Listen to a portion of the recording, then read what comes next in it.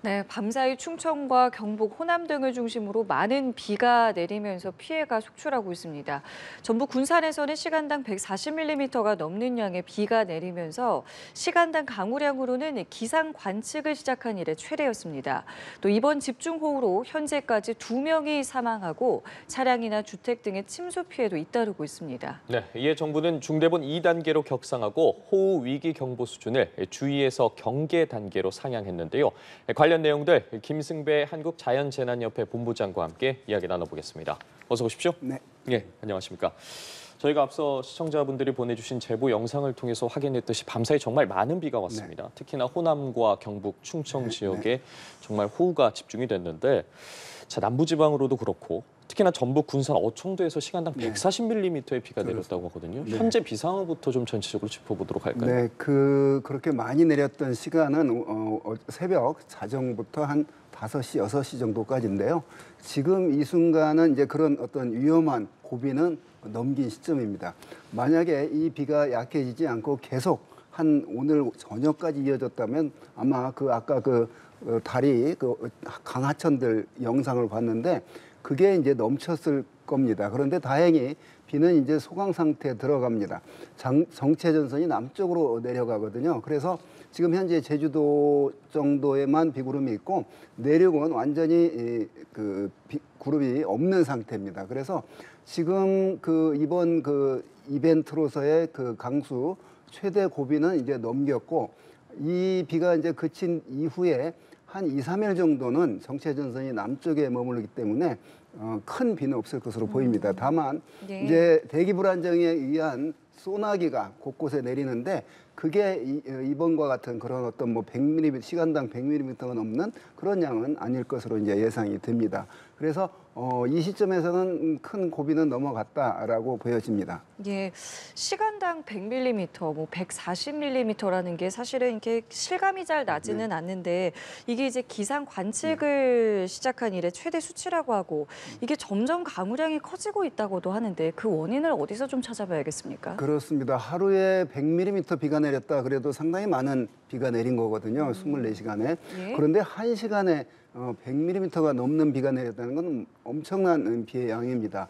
어, 최근 들어서 그러니까 우리나라가 이제 전국 62개 유인 관측 지점에 이제 관, 그 1시간 최다 기록을 보면 대개 100mm 하- 그 지역에서 1시간에 100mm 넘는 그런 지- 그 1시간 최다 기록을 가진 데가 그렇게 많지 않거든요. 어, 그런데 어, 2년 전에 비공식 그 자동 관측 장비이지만 동작구에서 서울 동작구에서 시간당 141.5mm 비가 내려서 그 일대가 많이 침수가 됐잖아요. 아. 그리고 오늘 새벽에 군산 지역에서 또 100mm가 넘는 군산 지역은 작년에도 그 시간당 130mm 비가 내려서 큰 그런 피- 침수 피해가 나기도 했었는데요. 최근 들어서 이렇게 그 어, 시간당 100mm 넘는 비가 이론적으로 상당히 그 어려운 그런 강수량인데 예. 어, 요즘은 쉽게 이렇게 나타나는 게 그게 다 어, 지구 온난화의 어, 영향이라고 봅니다. 지구가 그만큼 따뜻해졌기 때문에 그 안에 포함할 수 있는 수증기의 양이 과거보다 더 이제 늘어난 거죠. 그러니까 그 물을 담을 수 있는 그런 항아리가 더 커- 커졌다는 얘기인데 그래서 어, 요즘에는 그렇게 시간당 뭐 100mm 넘는 비가 쉽게 어, 최근 들어서 자주 나타났고 어, 이번에도 역시 그런 어, 많은 엄청난 양의 강수량을 기록하기도 했습니다. 예. 조금 더 자세히 들여다보면 유독 좀 밤에 장맛비가 집중되는 것 같거든요. 특별한 이유가 있습니까? 네, 그 낮에는 이제 해가 구름이 낀 위에 이제 해, 해가 떠 있기 때문에 상, 어, 낮에 어, 구름이 있는 상태에서 기온이 높죠. 그러니까 기온이 높다는 얘기는 수- 그 포화 수증기의 양이 이찬 공기보다 더 크다는 얘기거든요. 그러니까 물주머니가 낮에 크고 밤에 기, 해가 없는 밤에는 물주머니가 이제 자- 낮보다는 작아지거든요. 그래서 같은 양의 수증기가 있더라도 어, 포화 아, 수증기의 양이 더 늘어나기 때문에 이제 넘치는 그 비가 되기 쉬운 거고요.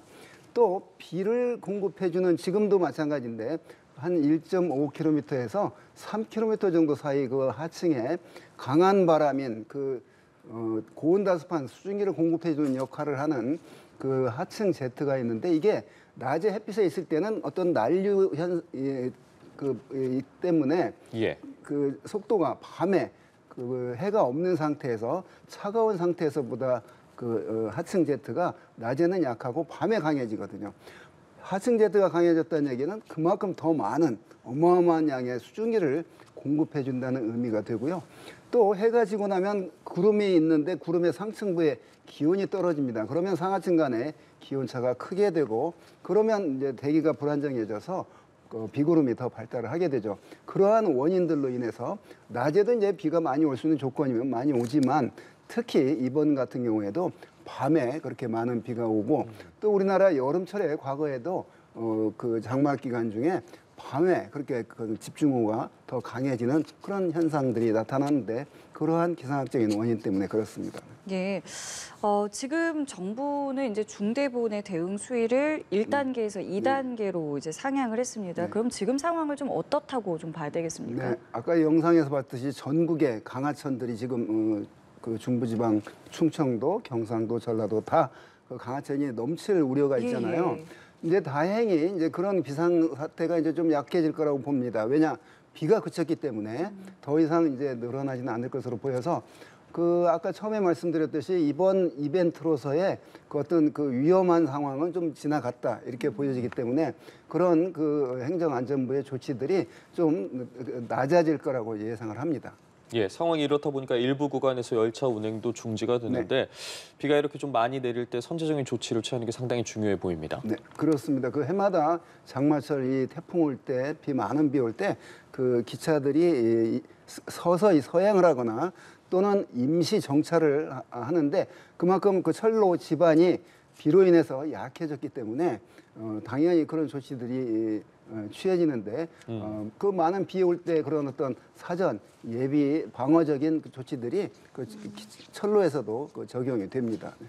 이또 하나 이 매년 집중호우가 이렇게 쏟아지게 되면 걱정되는 것 중에 하나가 이제 산사태 아니겠습니까? 지금 뭐 충청 지역이라던가 경북, 전북 등의 경우는 산사태 위기 경보를 심각 수준으로 지금 발령을 해놓은 상태인데요. 그리고 지금 전해드린 것처럼 피해도 이제 많고요. 앞으로 좀 어떤 부분들을 좀 대비를 해야겠습니까? 그렇습니다. 여름철에 비가 많이 오면 이제 첫 번째 피해를 큰 보- 보는 이유는 이제 그 범람 때문에 예. 그런 홍수 피해가 제일 어, 크고요. 그다음 두 번째 큰 게 이제 산사태 피해입니다. 매년 음, 우리나라 여의도 면적만큼의 산사태가 발생을 합니다. 아, 2011년 그 우면산 산사태 에, 서울에서 나타난 그 기, 어, 기억이 나는데 어김없이 매년 그 산사태로 인한 피해를 어, 보게 됩니다. 아, 작년 재작년에 그 어, 경북 안동 지방이나 영천 이쪽 지역에서도 그랬고 그래서 어, 산사태가 발생하기 쉬운 그런 지역들이 이제 경사가 한 30도 이상으로 급한 경사가 있는 곳들은 예. 그런 어, 많은 비가 오면 집안이 물러졌기 때문에 산사태 발생 가능성이 높거든요. 또 위에 부분에 임도를 내거나 또는 어, 그 전원주택을 짓는다고 산을 깎아떼거나 네. 이런 지역들이 이제 대단히 위험한데 그런 부분에 있는 분들은 많은 비가 올 때는 각별히 어, 조심을 해야 됩니다. 우리가 흔히 산사태 이제 전조 증상이라고 있는데 자 어디에서 날지는 모르지만 네. 자기가 그런 어떤 경사가 급한 산 주변에 살고 있으면 어, 바람이 강하게 불지도 않는데 소리가 우르릉 소리가 난다거나 아. 어, 그 나무가 기울어진다거나 예. 전봇대가 기울어진다거나 이런 그는 이미 저 위에서 산사태가 일어나고 있다고 이제 이- 일어났기 때문에 발생하는 현상들이거든요. 그런 때는 산사태는 위에서 아래로 나, 나타나는 현상이기 때문에 그 산사태가 어, 발생한 발생을 했을 때 직각 방향으로 멀리 예, 빨리 대피를 해야 되고 빨리 인근에 소리를 쳐서 알리고 뭐 이런 어떤 그 조치들이 필요합니다. 예, 주변에 위험이 있어 보일 때는 선제적인 조치가 필요할 네. 것 같은데 안타깝게도 또 이번 집중으로 두 명이 사망을 네, 네. 했습니다. 지금 충남 논산의 한 건물 엘리베이터가 좀 네, 침수가 돼서 사망자가 발생했는데 지하 2층 엘리베이터라고 하더라고요. 네. 이러면 주차장과 연결된 부분인 것 네. 같은데 이렇게 엘리베이터가 침수됐을 때는 어떻게 행동해야 하는 겁니까? 그렇습니다. 그 이렇게 많은 비가 매년 올 때 지하 주택이 침수돼서 아까운 인명 피해가 있었고 또 예. 지하 주차장에 물이 잠겨서 차를 빼러 갔다가 또 예. 그 포항에서 흰남도 태풍 때 그랬고 또 지하 차도에 물이 들어갔을 때또 어, 작년에 궁평 지하차도 같이 큰 피해가 났는데 자 이번엔 또 역시 다양하게 지하 시설물들은 많은 비가 올 때 역시 그 취약한 지역입니다. 그만큼 그쪽으로 물이 몰릴 가능성이 있기 때문인데 자이 엘리베이터에 물이 찬 이런 어, 피해 현상은 제가 처음 이제 어, 그 소식을 접하는데 어, 엘리베이터에 물이 들어갔을 때는 당연히 엘리베이터를 타, 타면 안 되겠고 어, 빨리 뭐 어떤 그 조치를 한다고 해서 그걸 이용하면 절대 안 되겠습니다. 그래서 엘리베이터는 전기를 이용해서 어, 움직이는 거기 때문에 당연히 이렇게 무, 어, 물이 차 들어올 때는 그 계단을 이용하는 게 그 현명한 방법이라고 봅니다. 그 안에 있을 때는 빨리 연락을 취해서 어, 안에 있는데 물이 들어오기 시작했다. 그러면 빨리 그 세워서 이제 그 엘리베이터 밖으로 나와야 됩니다. 네. 예. 자, 그리고 충북 옥천군에서는 또 옹벽 붕괴로 인해서 실종된 분이 이제 사망한 채 발견이 됐습니다.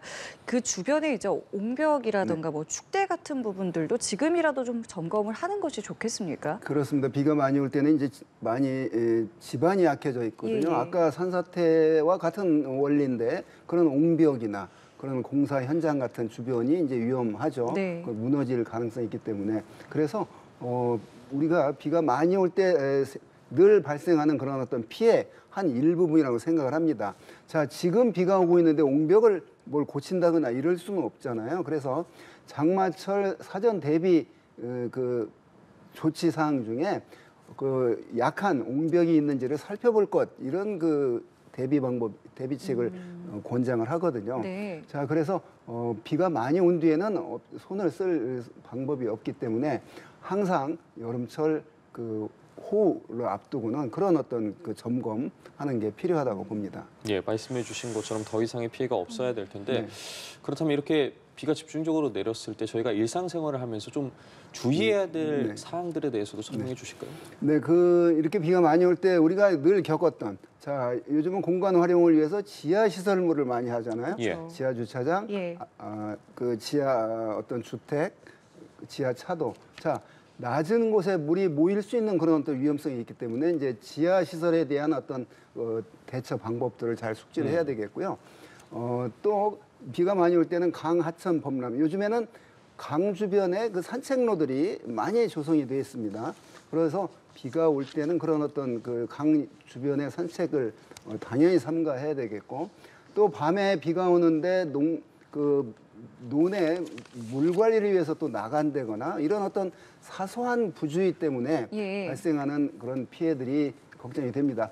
옛날에는 여름철에 늘 계곡에서 야영객들이 피해를 아. 많이 봤거든요. 예. 요즘에는 그 119 구조대원들이 강에서 이렇게 로프로 그런 구조하는 모습을 잘 TV에 안 나오더라고요. 그만큼 이제 많이 강 하천에서 야영하는 데 대한 위험 이제 그 어떤 안전 그 방법을 이제 터득을 하고 알게 됐다는 건데요.